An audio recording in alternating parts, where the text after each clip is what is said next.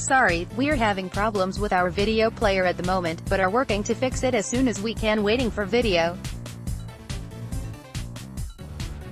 Published, 1442, Wednesday the 20th of June 2018 Celtic rumour mill, Fiorentina bid for ex-superstar, Celtic's Champions League 5,000-mile round trip The 26-year-old is a member of Switzerland's World Cup squad and played the full 90 minutes as Vladimir Petkovic's side drew 1-1 with Brazil in their opening game.